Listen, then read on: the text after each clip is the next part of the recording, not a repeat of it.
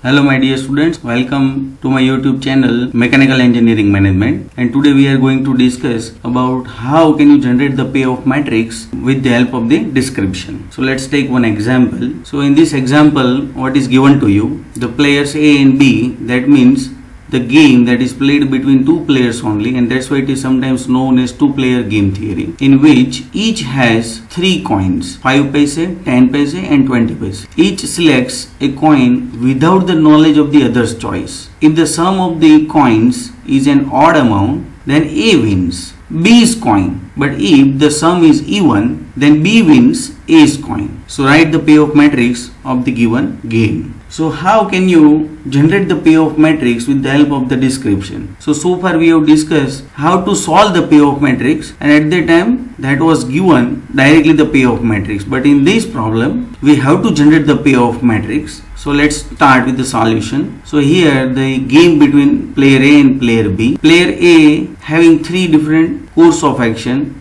that is what 5 paise, 10 paise and 20 paise. Similarly for the player B having also same three course of action 5 paise 10 paise and 20 paise. So i can write over here for player a the probability of the coin is 5 paise or it can be 10 paise or it can be 20 paise. Similarly for the player b. Now you just imagine that if i want to write the value in this whole payoff matrix here then what should be the value? So let's start from the first value so if i want to write the value of the payoff matrix here then what it means corresponding to the player A that is 5 paise and corresponding to the player B that is also 5 paise. That means if I want to write the value over here at that time I assume that the player A pick up the 5 paise coin as well as the player B pick up the 5 paise coin. So what is the summation of this 5 paise and 5 paise? That is 10 paise. So here it is given to you if the sum of this two coin is even then B wins A's coin. That means here B player wins A paise coin. Where B player wins that means the value should be the negative and what is the amount that that is written over here B wins A's coin. So what is the coin for A? That is 5 paise. So the value is over here 5 paise. Player B wins means player A loss that's why it is minus value. Similarly if I want to write over here then what is our assumption that player A having 5 paise coin and player B having 10 paise coin. So what is the summation of these two coin that is 5 plus 10 that is 15 paise and this 15 paise is the odd amount. So what is the condition that is given to you? If the sum of the coins is an odd amount then A wins B's coin.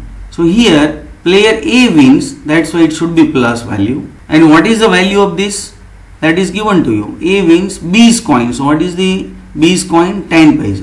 So here the value is 10. Player A wins. That's why it is the plus 10. Now if I assume the player A having 5 paise and player B having 10 paise. That means here I want to write. So once again you can consider the similar situation that is what 5 paise for player A and 20 paise for player B. So summation of 5 plus 20 that is 25 paise.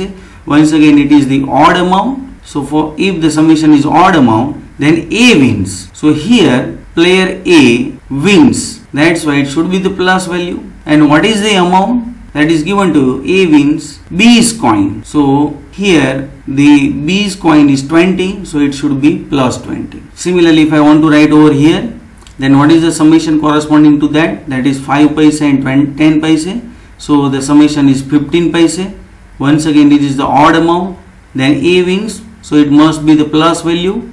What is the value? That is B's coin. So what is the B's coin? 5 paise. So it is plus 5 similarly over here summation of this 10 paise and 10 paise that is 20 paise. So it is the even value. So if the sum is even then B wins so it must be the negative value because of here B wins and what is that value A's coin so A's coin is 10 paise. So here it should be minus 10. Similarly here summation is 10 paise and 20 paise. So that is 30 paise.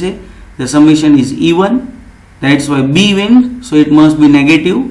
A's coin. So what is the A's coin 10 paise. So it should be minus 10. Similarly here the summation is 20 plus 5 25 paise. Summation is odd. So A wins means it is the plus value. B's coin. The value is 5 so it is plus 5 similarly I can write over here minus 20 and minus 20 so here you can understand with the help of this description that how you can generate the payoff matrix. And so this is really a very good example to understand the generation of the payoff matrix. Thank you my dear friends